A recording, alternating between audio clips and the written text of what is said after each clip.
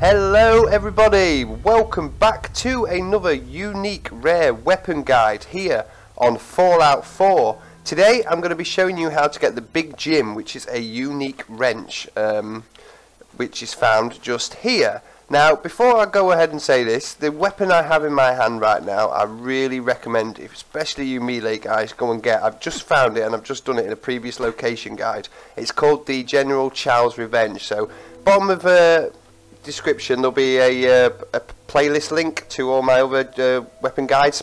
Go ahead and check that out, guys, or just search for it on YouTube. It is amazing and it's not too far from here at all. Um, but yeah, it's a really good weapon. Anyway, the Big Jim is found at, let's switch out on the local map, the Walden Pond, which is just south of Concord. So it's right there. Not a very long run from Sanctuary at all. Definitely a really good one to get um, early on in the game. So you're going to come to this uh, little gift shop right here. And uh, at the back of the gift shop, there is a door which will be locked, a master lock. Um, master lockpick can get in. But there's also a knife here um, and then a note, a note to Tweez. So it says, Tweez, if you're reading this, then you're an idiot. This is the last time I tell you we're locking this door. Use the entrance in the sewer pipe. Next time you forget, I'm locking your ass up permanently. So, that is a little clue of what we have to do. So all you do is you come out of this door and head towards the lake. Down by the lake, there's a little sewer pipe, um, which is just located right here. So enter the sewer pipe. It's totally open. Nothing, uh, nothing required to get into it. Then when you get in here, you're in like a little pipe system. So just go ahead and go through and then head to the right just here.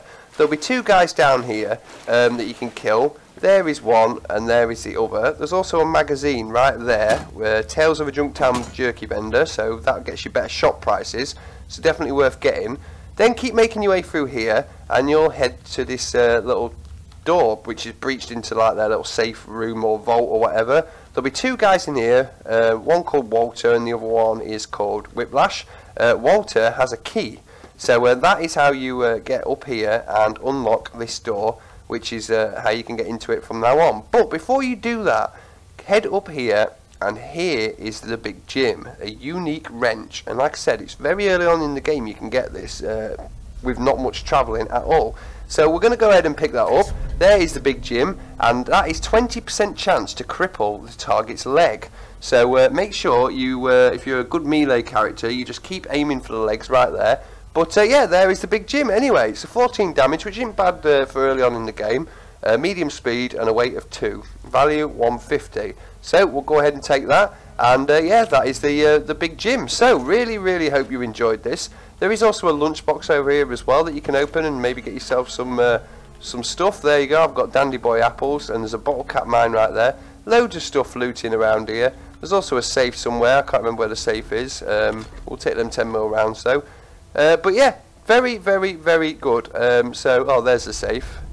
Uh, and it can be opened with a gift shop key, that's right. So there you go, grab all of that, gold watch, Rad-X, Stimpak, bit few supplies right there. Uh, and like I said, the key is uh, located on Walter. So go ahead and get that. And then, like I said as well, once you've got the key, you can get out using this door. And uh, yeah, that's it, guys. That is another unique weapon guide. That is the Big Jim here at Walden Ponds. Uh, once again, when we get out, I'll bring that up on the map just so you guys can know totally where it is. But uh, yeah, there you go. There's the map reference, Walden Pond. Just sort, uh, just south of Concord. Uh, I mean, look, there's Sanctuary and there's a Red Rocket truck stop, so it's literally just a couple uh, of minutes walk, if that. Anyway, thanks for watching, and I will see you guys in the next one.